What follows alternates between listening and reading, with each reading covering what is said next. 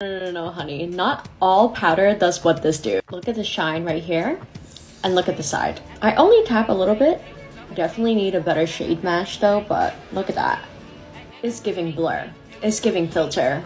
Definitely works way better with a puff though.